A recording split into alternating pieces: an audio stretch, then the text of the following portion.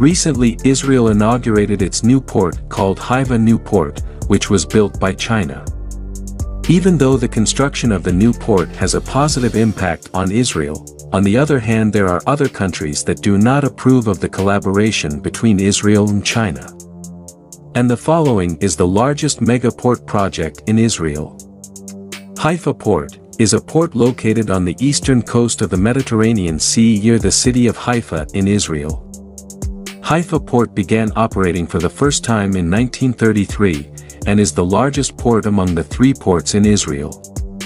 Haifa Port is located in a natural harbor, namely a water area that is naturally protected, and can be used for loading and unloading ships. That's why Haifa Port can operate in all weather conditions, and Haifa Port is the only port in Israel that can operate 24 hours non-stop. Haifa Port's natural harbor stretches over an area of 700,000 square meters. Has several terminals, and can handle various types of cargo ships including passenger ships. Haifa Port is also a landing place for cruise ships, which bring tourists from various countries. And every year the number of tourists visiting Haifa Port increases, reaching hundreds of thousands of visitors each year. Because Haifa Port is the largest port in Israel, so sometimes Haifa Port experiences traffic jams at the port. Namely, arriving ships cannot load and unload because the terminal is full, and to overcome this problem, in 2015 the Israeli government decided to build a new port called Haifa New Port. Haifa New Port is an expansion project of the old port, and the aim of building Haifa New Port is to expand import and export trade, as well as encourage local economic development in Israel. Because Israel does not yet have sufficient technology and experience, Israel finally collaborated with China to build the Haifa New Port. Israel chose China, because China is a country with rich experience in building sophisticated and modern ports. Construction of the Haifa new port began in 2018, and took three years to complete. Haifa new port was inaugurated in September 2021, where the construction was carried out by the Shanghai International Port Group, a terminal operator company based in China. The costs for building the new Haifa port all came from China, with the total investment value reaching 1.7 billion US dollars, or the equivalent of 24.6 trillion rupiah. And in the cooperation agreement, the construction uses the BOT or Build Operate Transfer System, which is a type of development project financing. Where investors provide their own capital for the project and can utilize the results of the development over a certain period of time. When the construction of the Haifa new port is completed, the port will be operated by China through the Shanghai International Port Group for 25 years. Apart from the cost of 1.7 billion US dollars, China gave Israel funds of 300 million US dollars or the equivalent of 4.3 trillion rupiah as privatization money for 25 years.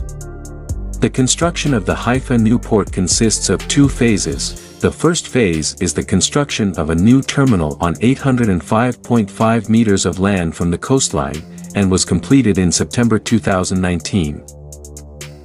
Meanwhile, for the second phase, the construction of a new terminal will be on land 715.7 meters from the coastline, and will be completed in September 2021 and Haifa New Port is the first new port to be built in the last 60 years in the Middle East.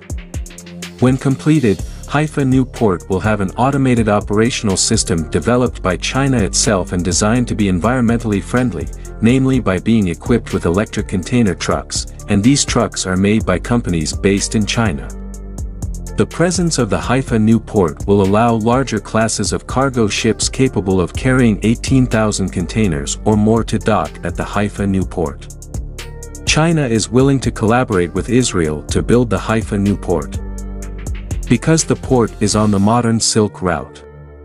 This modern Silk Road is one of the Chinese government's most ambitious foreign and economic policies where this strategy involves massive investment and infrastructure development in 152 countries spread across Europe, Asia, the Middle East, Latin America and Africa.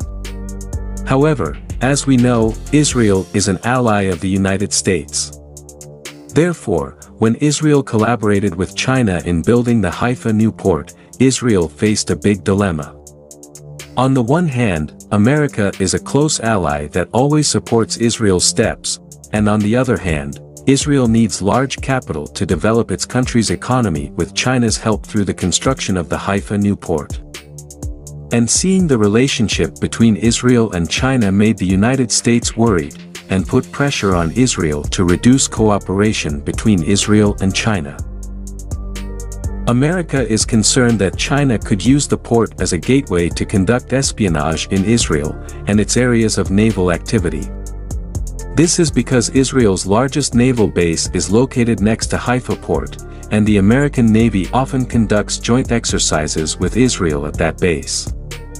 America was concerned about Israel's growing relationship with China, and warned Israel of the danger of a Chinese invasion of Israel.